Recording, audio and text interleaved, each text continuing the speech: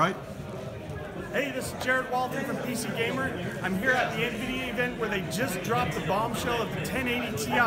Now, we were talking about this beforehand. We were speculating price. We thought, eh, it'll be a little bit slower than Titan X. It'll probably cost $800, $900. No. This is a $699 part. Kicks the GTX 1080 down to $500 and performance is actually going to be faster than the Titan X.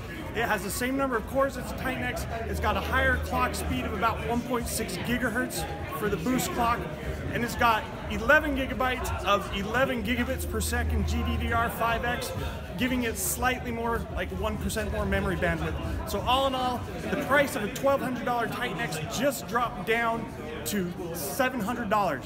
So if you've been waiting for the time to upgrade from your 780 Ti, it's here. 1080 Ti, it's coming next week. We'll have benchmarks then.